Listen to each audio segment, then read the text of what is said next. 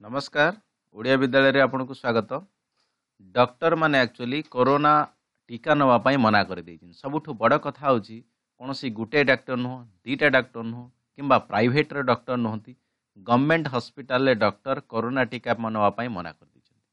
ସରକାର ଅଲରେଡ଼ି କହିଥିଲା ଡକ୍ଟରମାନେ ନର୍ସମାନେ କିମ୍ବା ହେଲ୍ଥ ଯିଏ ୱାର୍କରମାନେ ସେମାନେ ଅଲଗା ଲୋକଙ୍କ ପାଇଁ ଗୋଟେ ଆମେ କହିପାରିବା ମୋଟିଭେସନ୍ ବନିବେ କିମ୍ବା ସେମାନଙ୍କ କଥାକୁ ମାନିକି ଅଲଗା ଲୋକ ନେବେ। ସରକାର ବହୁତ ସମୟରେ ଏ ଜିନିଷ ବି କହିଥିଲା ଯେଉଁ ରିଉମର ଖେଳାଯାଉଛି ଟୀକା ନେବା କୌଣସି ମାନେ ଖରାପ ନୁହଁ ଟୀକା ନେବା ହିଁ ସମସ୍ତଙ୍କ ପାଇଁ ଠିକ୍ ବଟ୍ ବହୁତ ଆମେ କହିପାରିବା ରିଉମର ଖେଳୁଛି ସେଇ ଜିନିଷଟା ଡକ୍ଟରମାନେ ଚାହିଁଥିଲେ ଲୋକମାନଙ୍କୁ କମ୍ପ୍ଲିଟ୍ କରିଦେଇ ପାରିଥାନ୍ତେ ବଟ୍ ବର୍ତ୍ତମାନ ଷ୍ଟେଜ୍ରେ ଡକ୍ଟର ହିଁ ମନା କରିଦେଇଛନ୍ତି ଟୀକା ନେବା ପାଇଁ କେଉଁଠି ଡିଟେଲ୍ସ କଥା ହେବା ଆପଣ ଦେଖୁଥିବେ ଟାଇମ୍ସ ନ୍ୟୁଜ୍ରେ article resident doctor of R M L hospital want Covishield reject Covaxin due to the lack of complete trial ଦିଲ୍ଲୀର ସବୁଠୁ ବଡ଼ ହସ୍ପିଟାଲ ଆମେ କହିପାରିବା। ସବୁଠୁ ତ ବଡ଼ ନୁହଁ ବଡ଼ hospital doctor Ram Manohar Lohia hospital ଯେଉଁଟାକି ସରକାର କଣ୍ଟ୍ରୋଲରେ ଆସିଛି। ଏ ହସ୍ପିଟାଲ ଆକ୍ଚୁଆଲି ବ୍ରିଟିଶ ସମୟରେ ହିଁ ବନାଯାଇଥିଲା ତ ତାପରେ ସେଣ୍ଟ୍ରାଲ ଗଭର୍ଣ୍ଣମେଣ୍ଟ ଆକୁ ଟେକ୍ ଓଭର କରିଥିଲା ଯେତେବେଳେ ଭାରତ ସ୍ୱାଧୀନ ପାଇଯାଇଥିଲା। ତେଣୁ ବର୍ତ୍ତମାନ ଏଇ ହସ୍ପିଟାଲରେ ସମସ୍ତ ଡକ୍ଟର ଆମେ ରେସିଡେଣ୍ଟ ଡକ୍ଟର ଆମେ କହିପାରିବା ତ ଏମାନେ ଆକ୍ଚୁଆଲି କୋଭାକ୍ସିନ୍କୁ ମନା କରିଦେଇଛନ୍ତି ନେବା ପାଇଁ। ଏମାନେ କ'ଣ କହିଛନ୍ତି ନା କୋଭିସିଲ୍ଡ ଯଦି ଟୀକା ଆମ ପାଖକୁ ଆସିବ ତାହେଲେ ନେବୁ ନହେଲେ ଆମେ କୋଭାକ୍ସିନ୍ ନେବୁ ନାହିଁ। ଏଇଥିପାଇଁ କାରଣ ସେ ଦେଖେଇଛନ୍ତି।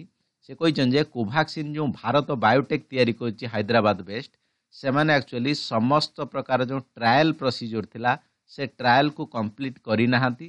ଭାରତ ତାଙ୍କୁ ଜଲ୍ଦି ଜଲ୍ଦି ଆକ୍ଚୁଆଲି ଆପ୍ରୁଭାଲ୍ ଦେଇଦେଇଛି ବଟ୍ କୋଭିସିଲ୍ଡ କଥା କୁହାହେଉଛି ଯେଉଁଟାକି ଆଷ୍ଟ୍ରାଜେନିକା ଅକ୍ସଫୋର୍ଡ ବନେଇଥିଲେ ଯେଉଁଟାକି ଭାରତର ବନା ହେଉଛି ସିରମ୍ ଇନଷ୍ଟିଚ୍ୟୁଟ୍ ଅଫ୍ ଇଣ୍ଡିଆ ଦ୍ୱାରା ସିଏ ଆକ୍ଚୁଆଲି ପ୍ରପର୍ ଟ୍ରାଏଲ୍ ପ୍ରୋସେସରେ ଆସିଛି ସମସ୍ତ ଟ୍ରାଏଲ୍ କମ୍ପ୍ଲିଟ୍ କରିଛି।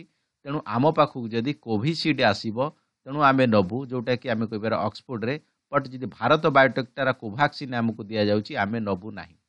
କଥା ଉଠୁଛି ଡକ୍ଟର ଏଇ ଜିନିଷ କହିବା ପାଇଁ ଚାହିଁଛନ୍ତି କି ଆକ୍ଚୁଆଲି କୋଭାକ୍ସିନ୍ରେ ଯେଉଁ ଇଫେକ୍ଟିଭନେସ୍ ଆକ୍ଚୁଆଲି ଷାଠିଏ ପରସେଣ୍ଟ ଥିଲାବେଳେ କୋଭିସିଲ୍ଡରେ ସତୁରିରୁ ବାସ୍ତରି ପରସେଣ୍ଟ ରହୁଛି।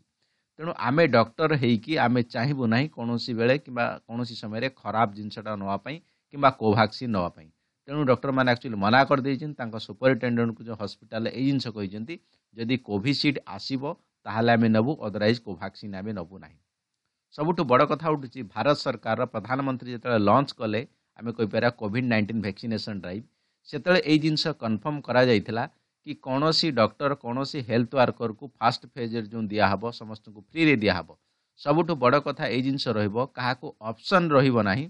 ଯେଉଁଠି ଯେଉଁ ଟୀକା ଆଭେଲେବୁଲ୍ ଥିବ ସେଇଠି ସେଇ ଟୀକା ସେମାନେ ନେବା ପାଇଁ ବାଧ୍ୟ ହେବେ।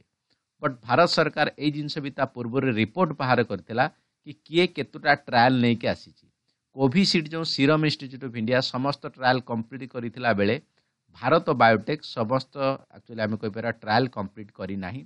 ଯାହାଫଳରେ କି ଆର୍ ଏମ୍ ହସ୍ପିଟାଲର ଡକ୍ଟରମାନେ ଏଇ ଜିନିଷକୁ ମନା କରୁଛନ୍ତି କି ଆମେ ଏ ଟୀକା ନେବୁ ନାହିଁ ଭିଡ଼ିଓ ତ ନିଶ୍ଚିତ ରଖିବି ବଟ୍ ଗୋଟେ ଜିନିଷ ପଚାରିବା ପାଇଁ ଚାହିଁବି ଭାରତ ସରକାରକୁ କ'ଣ ବର୍ତ୍ତମାନ ଷ୍ଟେଜ୍ରେ ଜଲ୍ଦି ଭାରତ ବାୟୋଟେକ୍ରେ ଯେଉଁ ମେଡ଼ିସିନ୍ କୋଭାକ୍ସିନ୍ ଆଣିବାର ଥିଲା କି ଯେହେତୁ ସେ ସମସ୍ତ ଟ୍ରାଏଲ୍ ପ୍ରୋସେସ୍ କମ୍ପ୍ଲିଟ୍ କରିନାହିଁ ଡେଫିନେଟଲି କମେଣ୍ଟ ବକ୍ସରେ ଲେଖନ୍ତୁ ଚ୍ୟାନେଲ୍ ଯଦି ଭଲ ଲାଗୁଛି ଇନଫର୍ମେସନ୍ ଭଲ ଲାଗୁଛି ଚ୍ୟାନେଲ୍କୁ ଲାଇକ୍ କରନ୍ତୁ ସବସ୍କ୍ରାଇବ୍ କରନ୍ତୁ ରଖୁଛି ନମସ୍କାର